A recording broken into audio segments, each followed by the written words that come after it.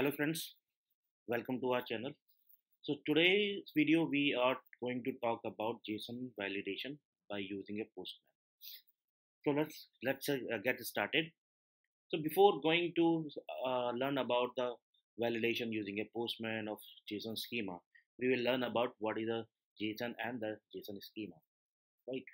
So let me open the document over here. So we'll write it down over here everything. So if we talk about the json so what is a json? So basically json is a javascript object notation. I can write, write down over here.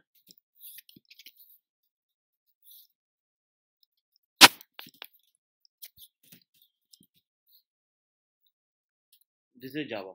And java basically is a lightweight format for storing and transporting data JSON is often used when data is sent from a server to web page. JSON is not a programming language. Remember that. Okay, sometimes we confuse that uh, JSON is a programming language or not, but JSON is not a programming language. It is a common and open standard format for storing and exchanging data. Okay, so JSON is a language independent. Remember that. Okay, so now there are some rules which we always remember whenever we work with the JSON. So uh, the rule number one let me write down over here for your convenience the rule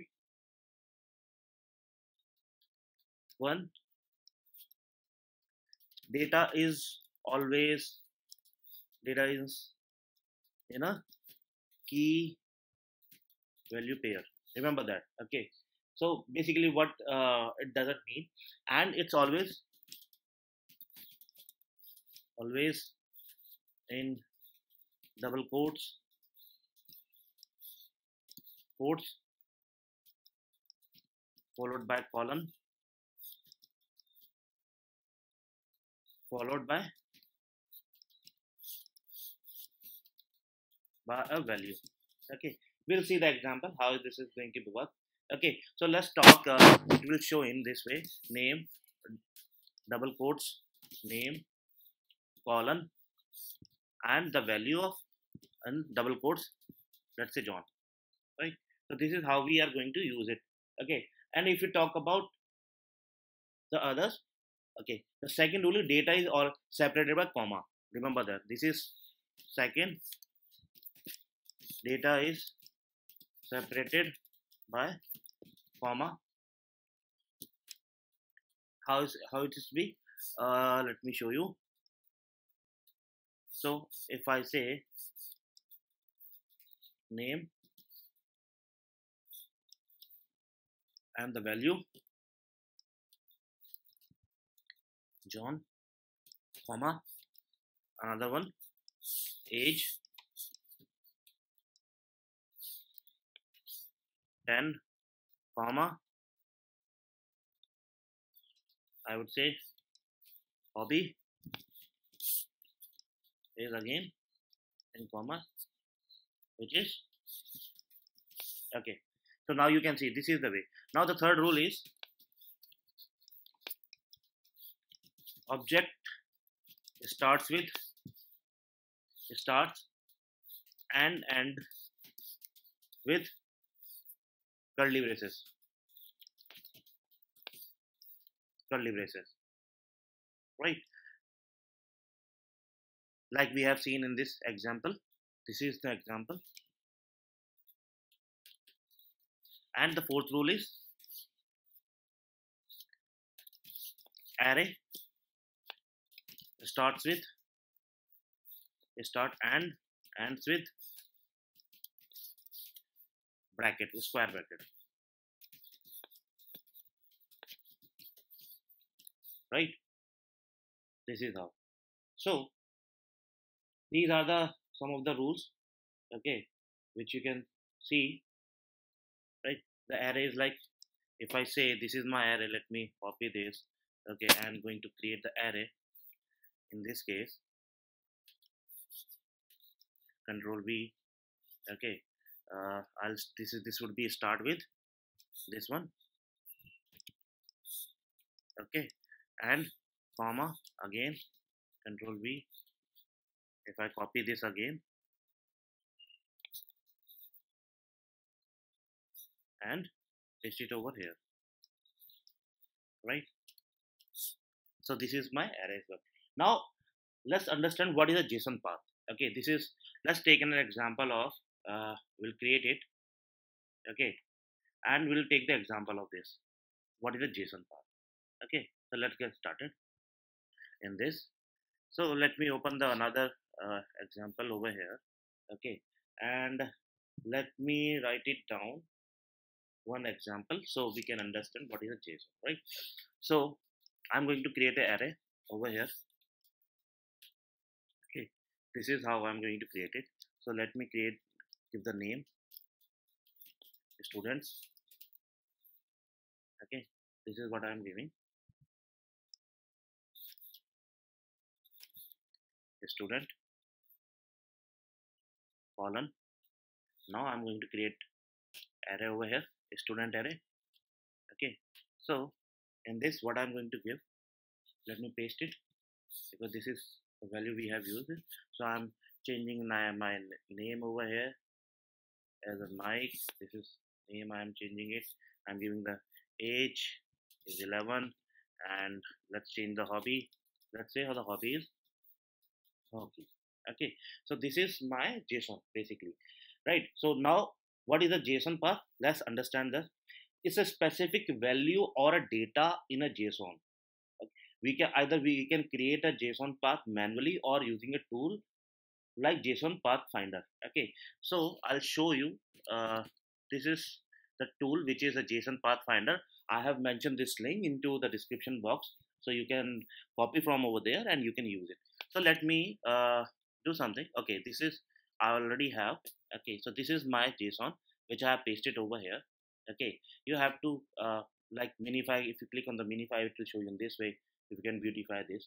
So this is will show in this way. Okay and whenever whichever the value you want specific value or data you just click over here and you can see that this is your basically a json path for country right? If you click on this it will change okay students one dot country. So it will show you that okay the in the array the indexing is one for this particular value right? So basically you just need to copy your path over here and you can put it into that way right? Now let's talk about the what is a json schema? So basically json schema is a contract. Let me write down over here okay? Json schema json schema is a contract for json document that defines the exposed expected expected data types and format of each field in the response right? So this is a basically json. So for json so how is going to work it? Let's talk about this one. Okay so it describes the existing data format with the clear human and machine readable documentation for complete structural validation useful for automate testing and validation validating client submitted data right? So how is going to work it let's take exam another example of this. Let me copy this okay? There is another site which is uh, provide an online tool which is jsonschema.net over here you have to log in with your credentials and then you have to paste it like let me paste it over here. So i have pasted my json which is a json valid json. Now i can you know uh, get the schema in a json format or i can get a yml format or either i can get a xml format. So let's do that for json so you can see okay uh, let me refresh it because okay. now i click on submit so it will provide me a JSON schema for this.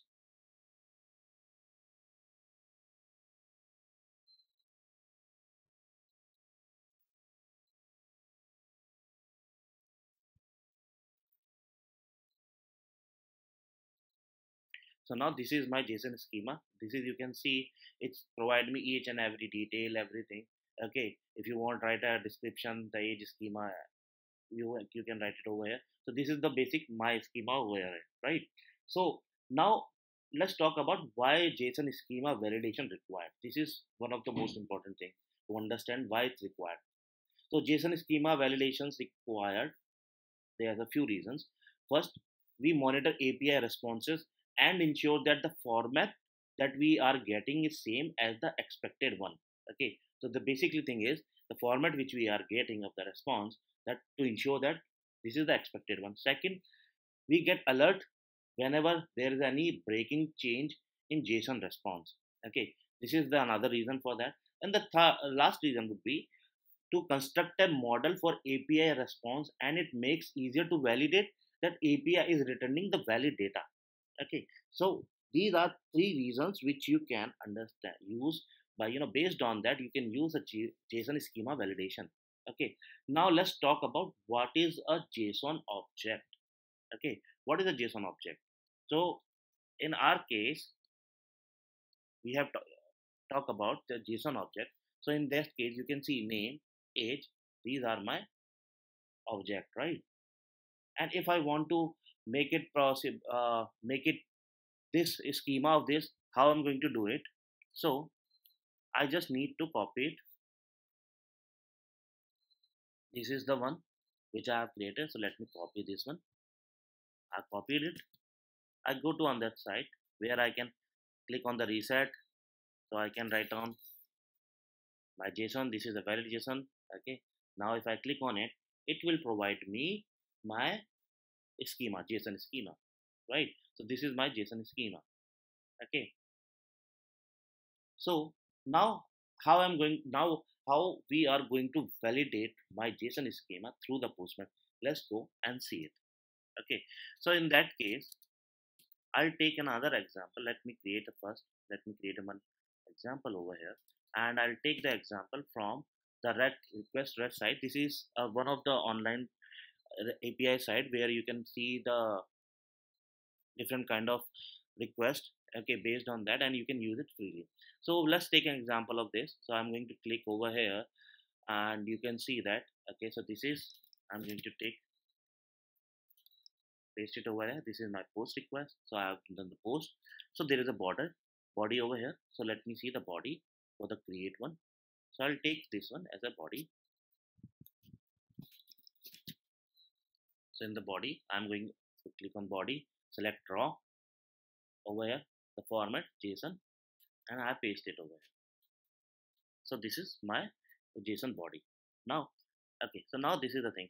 Now for writing a test case before I need what I need to do is this is my response. So let's copy this response because we are working on this. Okay, I need a schema of this. So what? See, you can write down your own schema, or you can ask to your developer team that provide a JSON schema, so you can directly use that schema for validation right? Or otherwise you have if you have a response sample response for any api that you can use it and convert it uh, receive get it your json schema using this side, and you can use it. So this is how i'm going to use. So let me co co select copy this. Okay. Now let's come to write a test case so over here i'm going to write it. This is pm where we use always in pm test. Giving the name. Is JSON schema. Validation. So this is the name of my test case. Now i'm going to write. See to know the more details about what i'm doing you know how we're going to write a test cases in javascript you know doing the automation into a postman. I have already uh, created a one video on that in a detailed way. Uh, i've given a description link in the description box so you can go and uh, check it out video to, to uh, more about the automation using postman. Okay. So sorry this is